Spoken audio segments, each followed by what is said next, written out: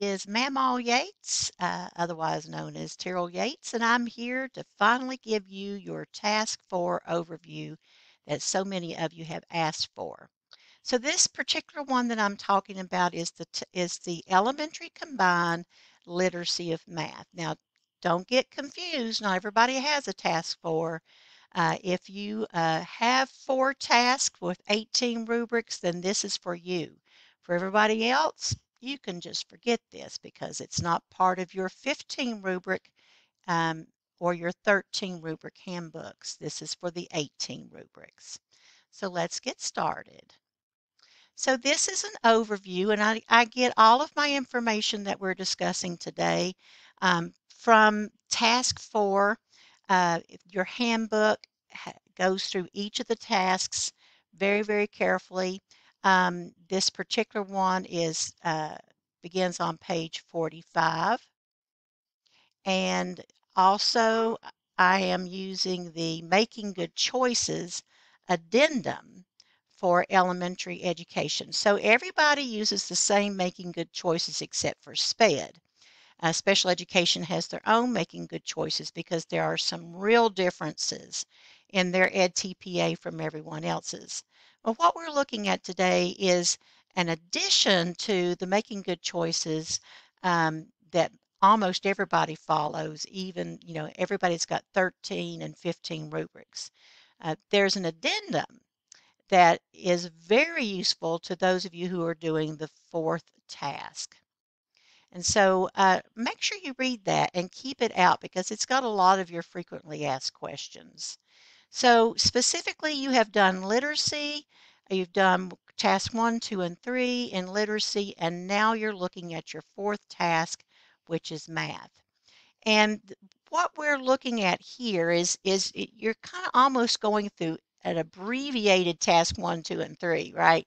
So we're going to be looking at a learning segment that you've taught or your mentor has taught. You're going to give those students a formative assessment. You're going to analyze for uh, evidence of um, patterns of learning, their mathematical understandings. Um, you're going to then find errors, uh, confusions, partial understandings. You know, where did they struggle?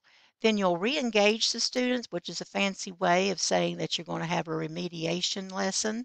And then you're going to um, teach that and then give them um, evidence uh, of re-engagement and how well they've learned on a new uh, assessment.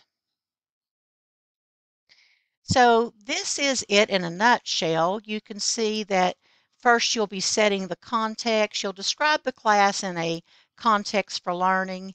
You'll describe the learning segment that's been taught. Now let's be clear about this describing the learning segment. You will not submit the lengthy lesson plans that you did in task one. Uh, you'll see in a minute that this is just a brief overview of the learning segment. Then, um, then you're going to develop an assessment and evaluative criteria that will help you analyze the student's um, formative assessment. And you're going to try to find an area of struggle.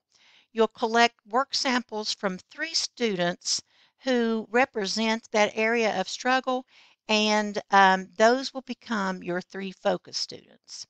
After that, you'll design and teach a re-engagement lesson. Again, just think remediation. That's what a lot of us call it. You'll collect the work and analyze it from that lesson.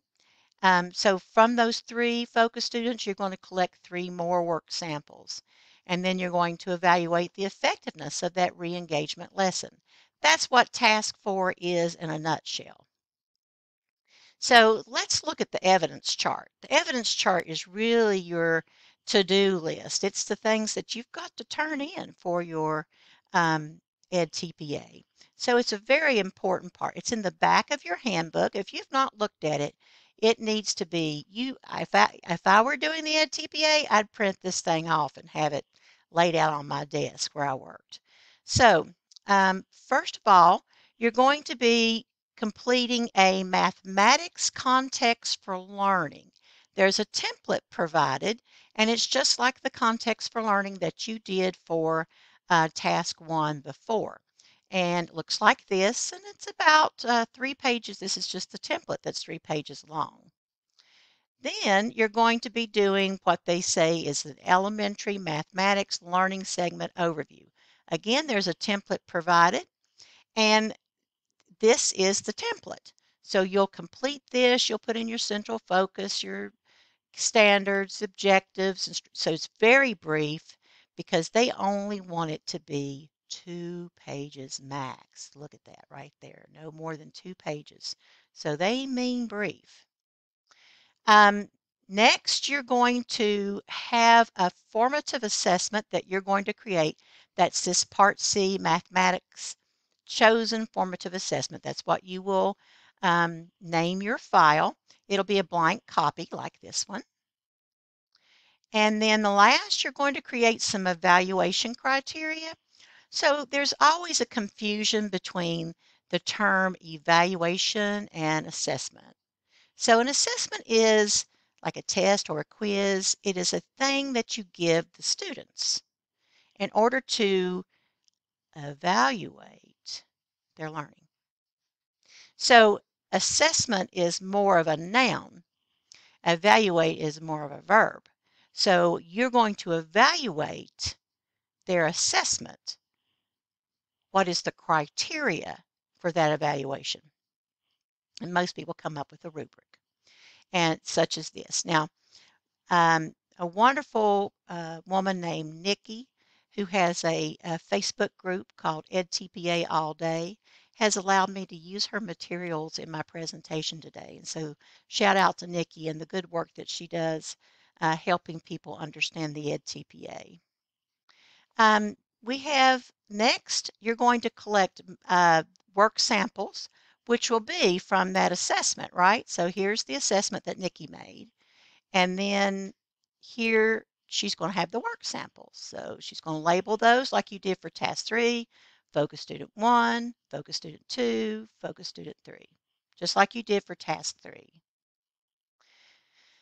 Next, after you've taught the students, you're going to have a re-engagement lesson and you'll have an example from student work notice that they have some specific ways that they want to make sure that you are uh, naming your file, that you use the term re-engagement. And again, you've got, so after you've taught the lesson, you're going to you're going to give them another assessment. It needs to be a different assessment. And there it is. Focus student one, two, and three. Then you'll write your commentary. And there's a template provided for your commentary. It's going to be about eight pages. I always get asked, is three pages enough? And the answer is no. Why would you give somebody three pages when other people are going to be giving them eight? Okay, task four. Here it is. And so it, this, she wrote several pages. I couldn't tell you exactly how many. This was her uh, the first page of, of Nikki's assessment commentary. Now, um, so what do I need to do to do this? First of all, you're going to select a class. And if you teach more than one class, um, you, uh, you might want to select uh, just one class and then you want, might want to, maybe if you've got groups, you can select a focus group. Um, maybe you've been in a different placement. Maybe you, in your student teaching, you're in one placement, then you're another. Rest assured, that you do not have to use the exact same class that you used in task one, two, and three. This is a frequently asked question. Um, you do need to have a minimum of four students. If this is your whole class, this minimum of, whole, of four students, then you're going to um, you're going to complete the context for learning for just those four students. So uh, this will be your context information, which you'll use the template uh, that's provided, and you will be no more than four pages, including the prompts when you when you finish it. Now note here again that mathematics task 4 can be completed in the same classroom as the literacy tasks or can be completed in a different classroom or fieldwork setting. That means you could really even do task four in a different school. And that really helps a lot of people because they have maybe like eight weeks one place and eight weeks another place. So that really helps. Um, however, when you do uh, turn in your uh, EdTPA, you want to make sure that you turn in your EdTPA to Pearson, Task 1, 2, and 3, and 4 all at the same time for official scoring. This is what the context for learning looks like when it's blank. Um, now, you need to have a central focus, and your central focus um, needs to be uh, with mathematical understandings that include conceptual understanding, procedural fluency, mathematical reasoning, and problem solving. So that's often after you've been working through the um, literacy portion where you talk so much about your essential literacy strategy and related skills. Um, the subject specific emphasis of mathematics is conceptual understanding, procedural fluency, mathematical reasoning, and problem solving. And so a lot of people kind of struggle with what those terms mean. Okay. Let's go forward here. I lost my little thing. So when you choose a central focus, you need to describe a learning segment that's hard. This needs to be um, this needs to be material that the students have not mastered. That needs clearly because what you're going to want to end up with um, are some students who've struggled with it.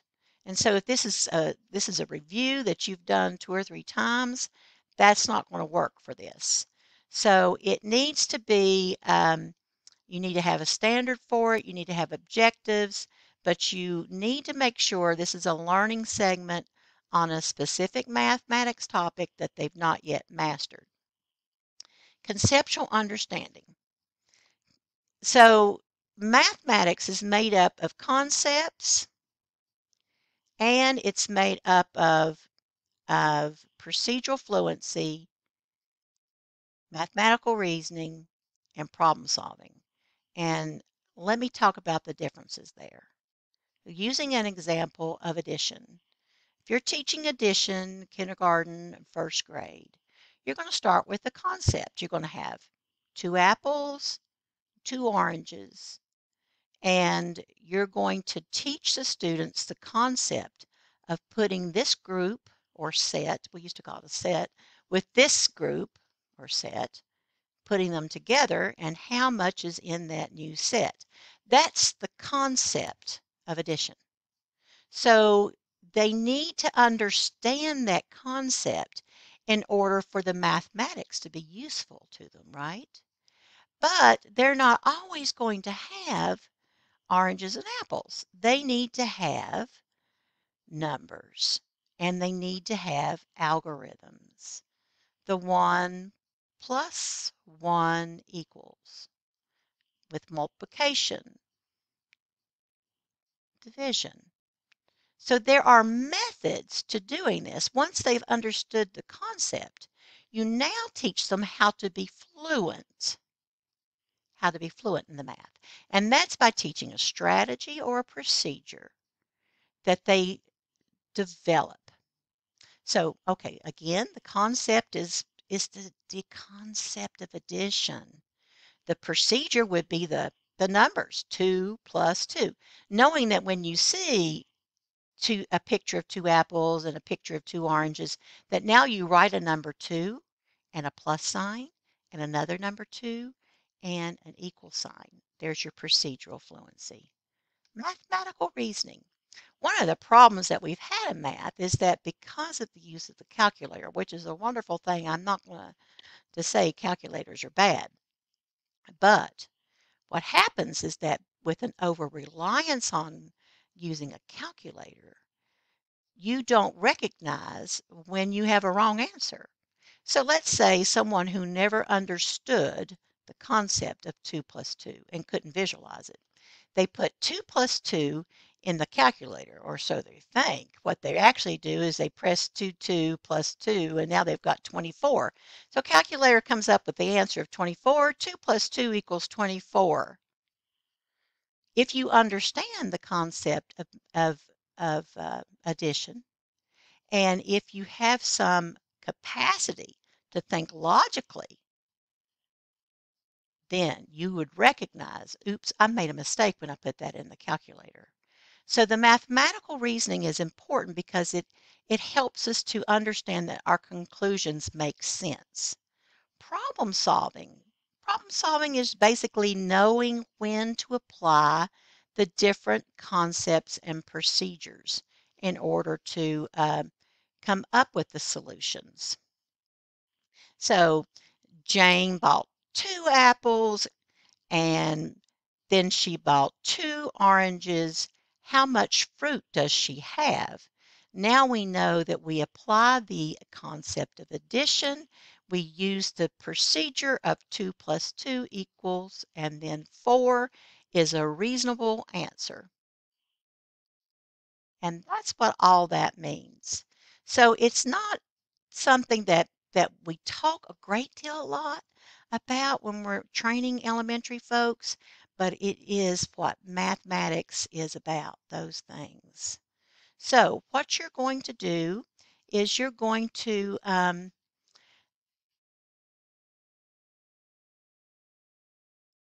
you're going to have your I'm sorry I got distracted you're going to have your um, um, mentor or you teach this learning segment. So you select the class and then you're going to provide that. You're going to identify the learning segment. Now, this curriculum is based off of this learning segment overview and it's three to five lessons. You've got that form to fill out. Um, so because this was designed for teacher candidates, um, this learning segment can be taught by either you or the cooperating teacher. This first part, the, the original, when they first learn this new concept. Um, then, after you give the formative assessment, it's you that needs to be, you do need to be involved in choosing and adapting um, the re-engagement lesson and the formative assessment for that. So, uh, but the important thing to remember here is that you may not have um, have to teach the actual learning segment. So if you're basically usually in a literacy class and you're just coming into a math classroom uh, just for this part, it's okay to use your mentor's uh, learning segment. Now you can see here, here is Nikki's um, uh, learning segment overview. And she's got central focus and her standards, her lesson one, her objectives, the strategy she plans to use, and what kind of formative assessment she's she's using. It appears as though she has taught this because she uses I, but it's perfectly uh, fine, like I said, for your mentor to have taught this. So you might be, you know, just referring to my mentor. That would be perfectly fine. Okay, then um, you're going to develop your, let me pull this up here so you can see it better.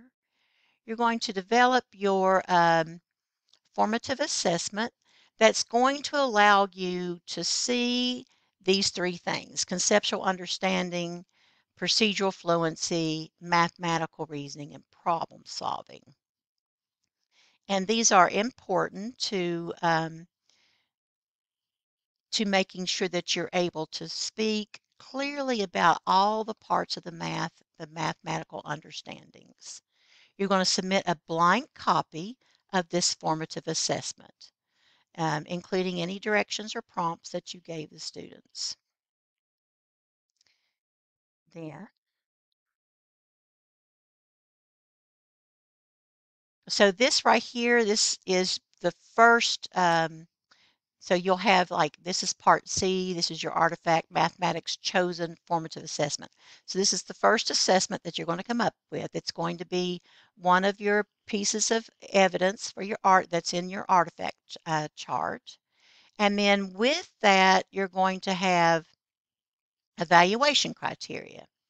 So a lot of people want to say, well, isn't a key to the answers enough? Well, no, not really. Because um, how many times do you look at a mathematics answer that a student has worked out and you thought, well, they've got it partly right? And students will even ask themselves, do we get partial credit? And that's because they know that there's, even though there are right and wrong answers, maybe they've done part of it correctly and part of it incorrectly. So it is important that you create like a rubric that shows these these different things of the mathematical understanding, conceptual understanding, procedural fluency, mathematical reasoning, problem solving. This is going to be your Part D, your evaluation criteria. Then uh, you will analyze the student work. Now, um, that's from this formative assessment.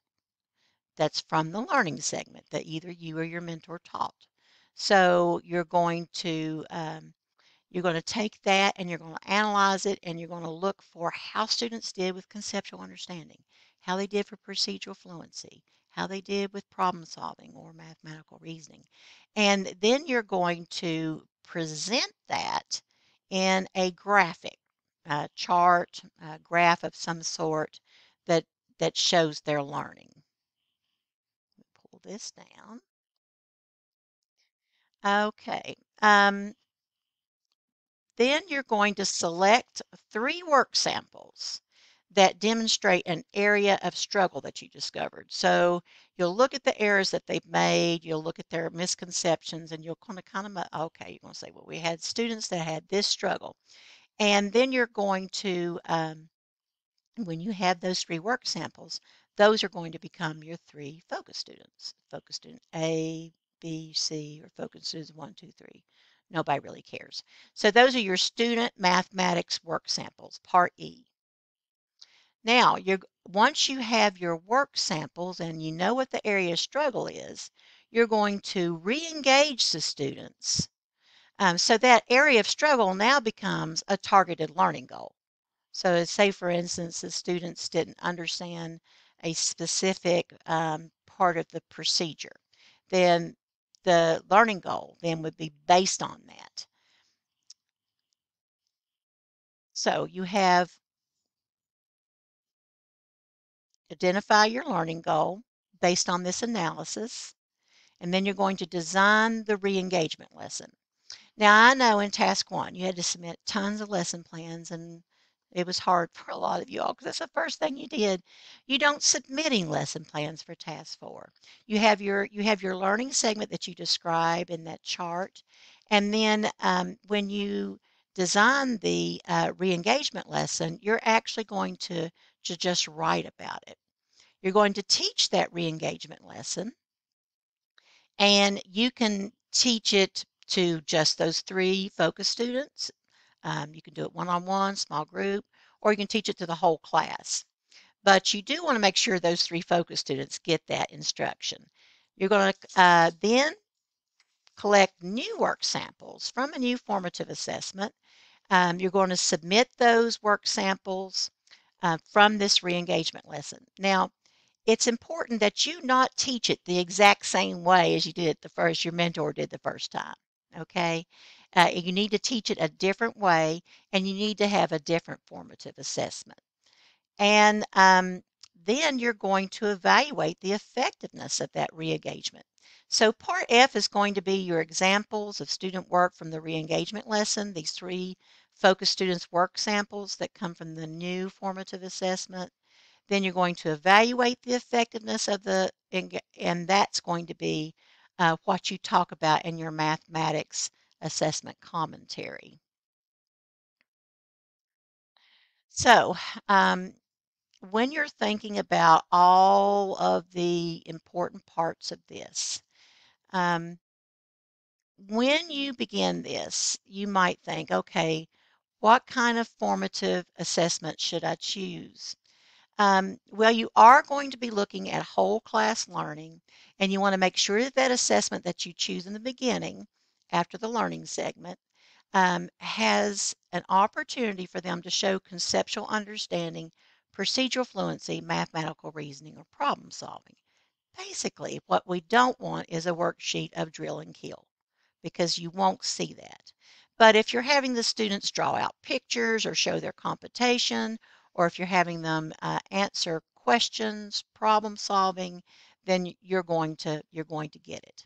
It needs to be challenging enough. You can't just have one that everybody just, you know, breezes through and makes 100 because if you do that, then you're not going to have an area of struggle for you to reteach. So um, remember that you are going to be selecting your three focus students in the beginning based on that area of need. So it's very important that you choose uh, choose carefully for that.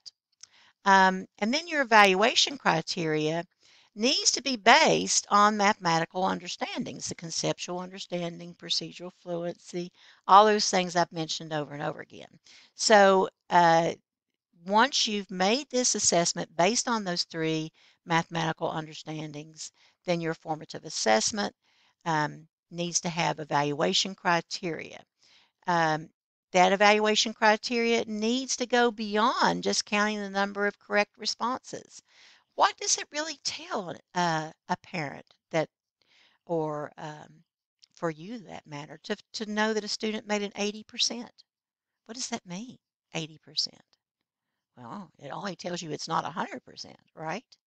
But how does that give you any information about their learning and what you need to do next? So make sure that your evaluation criteria is based on, you know, what it needs to be based on. And um, so here is Nikki's formative assessment that she used. And here we see her uh, great rubric.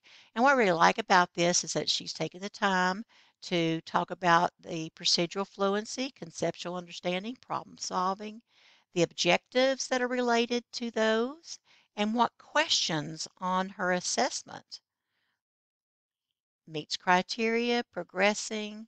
Wonderful. Looks like she's used iRubric as a, a way to help her create this.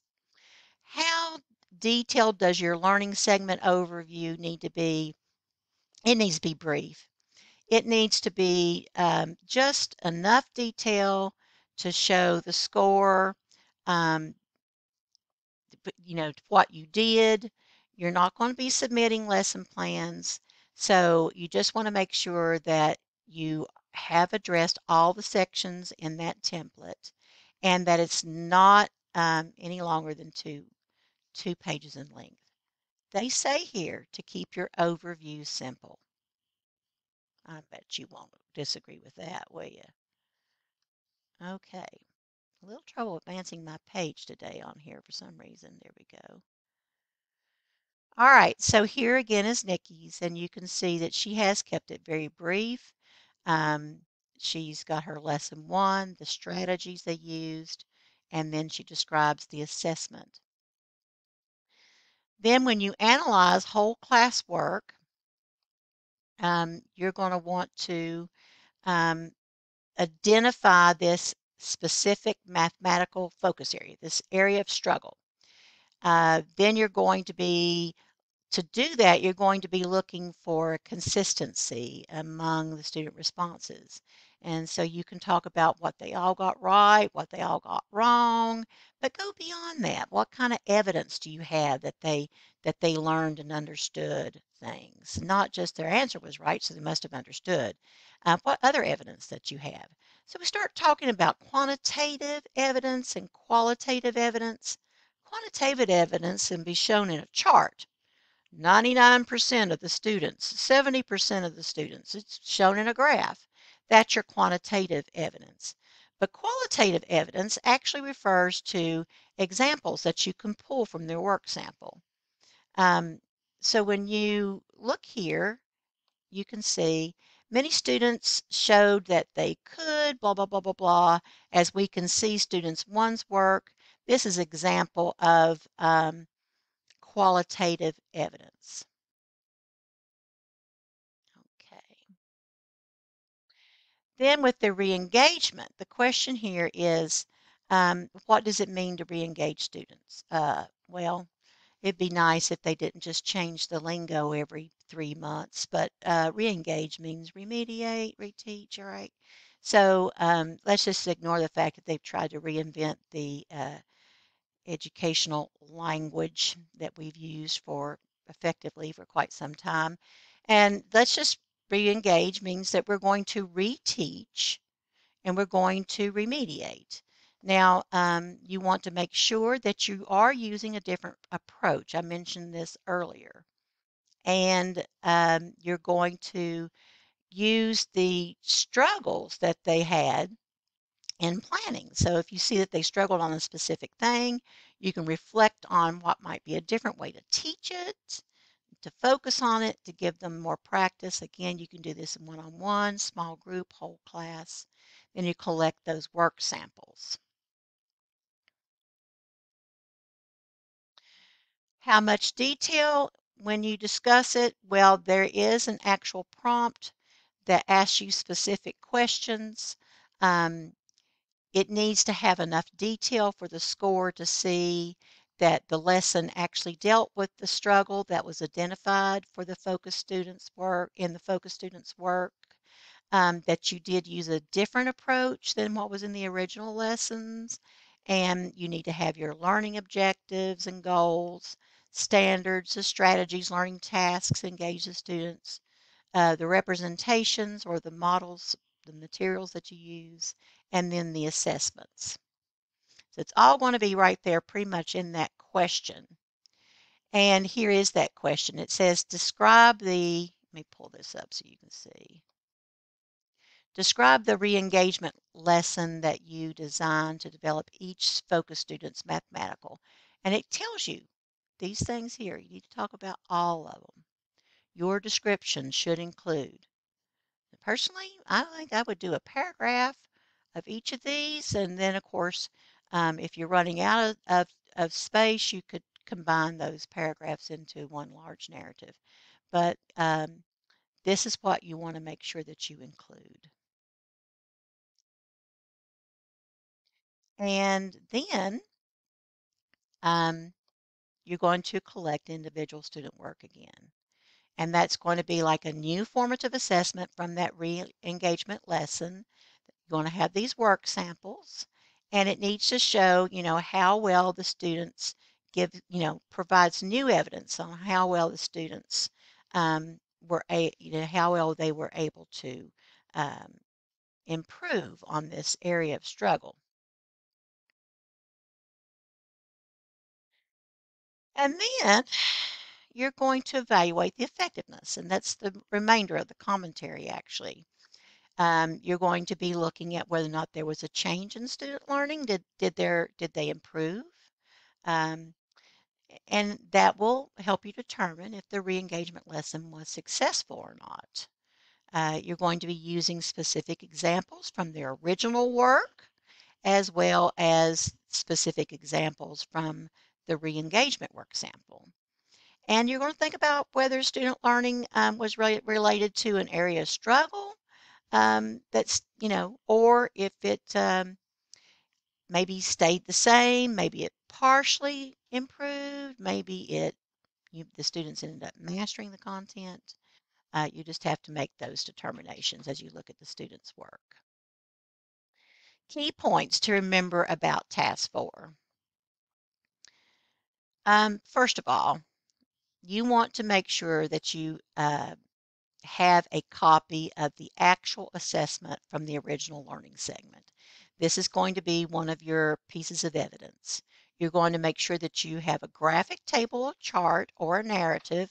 Now, it always says chart or narrative, but I'm telling you, there's the chart is so much more impressive than just the narrative. So I really encourage you to do a do a chart on the performance of the class um, on the original learning segment. You need three student work samples from the original learning segment and three student work samples from the same students for the engagement lesson. You need specific evidence uh, of student work to support your evaluation. Now, what to avoid? Well, content inaccuracies, um, which admittedly, I think that's a little hard to do at the elementary level, but you know, nothing's it's obviously there's a reason they they bring it up. Um, so you want to have a targeted learning objective um, that's not, you want to make sure you don't have a targeted learning objective that's not aligned um, with the identified area of struggle. So you want to make sure that you, what you target and you know with the struggle um, that they are aligned. You want to make sure that um, when you talk about the students learning that it can be seen in the work samples and uh, you want to make sure that when you, in your re-engagement lesson where you're reteaching, you want to make sure um, that they, you're not reteaching using the exact same methods and strategies. And that might be why they avoid the term reteaching, I'm not sure. Um, but it basically, uh, the re-engagement lesson is a reteaching lesson where you use a different strategy. Okay, so then this is all going to be assessed. Um, you'll write your commentary, and then you've got rubric 16, uh, where you're going to uh, show how well you analyze the whole classes, um, the whole class evidence, how well you identified uh, patterns of student learning on the original work. And then um, in rubric 17, uh, you want to you know, this is how well you're using evidence from the focus students' work samples to identify the student struggles. Um, this is where um, you want to make sure that you're explaining based on those uh, mathematical understandings that we talked about. And then rubric 18, um, talking about um, how, how well you can reflect on your teaching. In uh, future uh, excuse me future videos that I have coming up we will look at each of the prompts of task four one at a time and I'll give you some suggestions for that I don't have those made yet as of today but maybe if you're watching this a, uh, a, couple of months from now, you will see that I do have um, prompts um, discussed for each of those in task four. I hope you have a great day. And again, thank you, Nikki, for allowing me to use your materials. Check out her Facebook group, EdTPA, EdTPA All Day.